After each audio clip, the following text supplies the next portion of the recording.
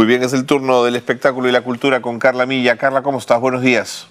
Muy buenos días, Carlos. ¿Qué tal? ¿Cómo estás? Muy buenos días a todos los que están conectados desde las distintas plataformas de Nativa. Bienvenidos al bloque entretenimiento, al bloque cultural.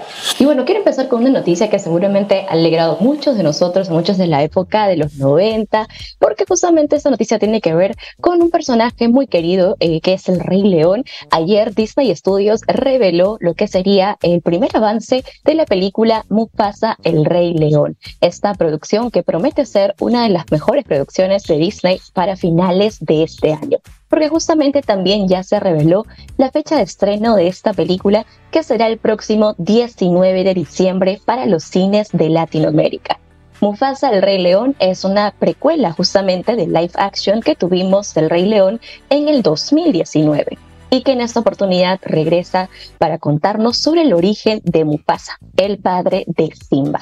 Justamente en imágenes estamos viendo parte de este primer avance en el que, bueno, nos va a mostrar un poco de lo que será esta película musical Mencionarles también que esta nueva aventura cinematográfica es dirigida por Barry Jenkins, quien es, como sabemos, ganador del Oscar por la película Moonlight. Y bueno, es, justamente este director quien nos va a sumergir en el poder emblemático y sobre todo el origen de Mufasa, quien es el rey de Pride Lands. Y bueno, nos va a ofrecer también una perspectiva fresca, joven, profunda sobre todo, del ascenso de Mufasa al trono también mencionar que esta película promete tener un buen resultado y sobre todo continuar con el legado musical, ya que esta va a ser liderada por Lin Manuel Miranda. Mencionarles que, bueno, la historia en esta oportunidad se va a centrar en Rafiki, quien va a narrarle la historia de Mufasa a Kiara. Como sabemos, Kiara es la hija de Simba y Nala y le va a contar justamente la leyenda de este rey. Y a través de una emocionante historia, de una emocionante narración con flashbacks, vamos a poder descubrir cómo fue esa historia de aquel cachorro huérfano llamado Mufasa y cómo encontró su destino gracias a ese poder de encontrarse con Taka, quien era un león del linaje real, y a quien lo consideró como su hermano. Juntos ellos van a pasar un montón de aventuras, van a tener enemigos, superarán obstáculos, pero sobre todo van a fortalecer ese vínculo de la familia y Mufasa entenderá cuál es su destino en el ciclo de la vida. Así es que a todos los seguidores del Rey León, de esa película emblemática de Disney, hemos tenido por ahí un pequeño avance, un pequeño adelanto de lo que será esta película que estará llegando a nuestros cines en diciembre de este año. Sin duda es una película que eh, tiene bastante expectativa, sobre todo por lo mismo que les decía, ¿no? Promete ser uno de los mejores estrenos de Disney en este año. Más allá del gran equipo de producción que tiene, por los talentos también que conforman en esta película. Así es que ya saben, Rey León estaremos seguro teniendo más adelante mayor información y más detalles sobre esta película. Y bueno, ahora sí, pasando ya un poco al lado del teatro, comentarles que justamente El Gran Showman, esta obra que va a reunir también al circo, a la magia y la danza. Esto a cargo de un elenco de más de 60 artistas escolares peruanos. Mencionarles que justamente esta obra es realizada por los colegios Villa Caritas y San Pedro. Bueno, contarles un poco acerca de esta obra, pues nos narra la vida del visionario Phineas Taylor Barnum quien es un hombre desde su infancia busca eh, crear un mundo de fantasía, un mundo de asombro. Y en esa búsqueda por dejar su marca, esa huella en el mundo, él reúne a un grupo de artistas marginados por su apariencia física o su procedencia, para formar así un circo único en donde cada uno de ellos puede demostrar sus dones y talentos. A pesar de enfrentar ciertas críticas y desafíos, ese es el circo le da la gran popularidad.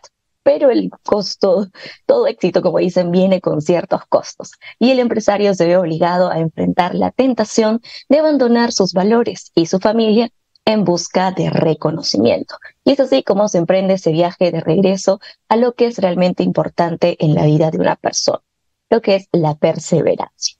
Y bueno, en este caso mencionarles que la obra El Gran Showman ya se encuentra eh, en sí en preventa, pueden encontrar las entradas a través de la plataforma Joinas y esto mencionarles que el estreno será este sábado 4 de mayo en el Centro Cultural de la UNIFE, que por cierto está ubicado en la avenida Los Frutales 954 en La Molina. Y bueno, también comentarles que es una temporada corta, Tendrá funciones también el domingo 5, el martes 7, el miércoles 8 y el jueves 9 de mayo. Así es que aprovechen una historia y una, sobre todo una obra, un espectáculo para toda la familia, apto para todo público. Y bueno, ahora pasando un poco a la literatura, comentarles que justamente se va a dar el lanzamiento de la obra Piedra Labrada es la obra de Sonia Luz Carrillo, que reúne justamente 50 años de su creación literaria. Sonia Luz Carrillo es una poeta y una periodista eh, que sus poemas justamente han sido traducidos en varios idiomas y ella es, ha sido reconocida por la difusión justamente de estos poemas tanto a nivel nacional como internacional. Y es que gracias al apoyo de la editorial Artífice, ella estará publicando esta obra que es Piedra Labrada, que reúne su trabajo de 50 años de creación literaria. Esta obra es de 396 páginas y que justamente reúne siete poemarios de Sonia, que va desde su debut, que fue sin nombre propio, 1973, hasta el conjunto de poemas inéditos titulado Mientras cae la tarde que se publicó en el 2023. Y son poemas que justamente abordan temas como la identidad, la condición de la mujer, la experiencia, eh, la vasta experiencia humana en la esfera individual y también en la vida social así como el arte y la poesía. Mencionarles que la presentación del libro se va a realizar el próximo 15 de mayo a las 7 de la noche. Esto en la Casa de la Literatura Peruana, que está ubicado en el Girón Ancash 207 en el Cercado de Lima. Para esta publicación, para este lanzamiento, esta presentación en sí, se eh, estará realizando junto a la investigadora Esther Espinosa, con el poeta Hildebrando Pérez y el editor Jesús Raimundo. Para aquellos que ya quieran conseguir eh, el poemario, también lo pueden hacer a través de las librerías de Crisol, de Busca Libre, Heraldos Negros, entre otras. O también a través del siguiente número de WhatsApp, que es el 990-676-127. El 990-676-127. Así es que ahí tienen la invitación para todos aquellos que quieran poder asistir a la presentación del libro de Sonia Luz Carrillo. Y para cerrar con el bloque, comentarles que ya se dio inicio al Festival de Arte Contemporáneo, el Artmo 2024. Y es que justamente hay 46 artistas de distintos países, son 14 países los que están participando en este festival, que eh, vienen y regresan para una tercera edición que tiene el título de Del rostro la máscara, juegos, ocultamientos y alteraciones de la identidad.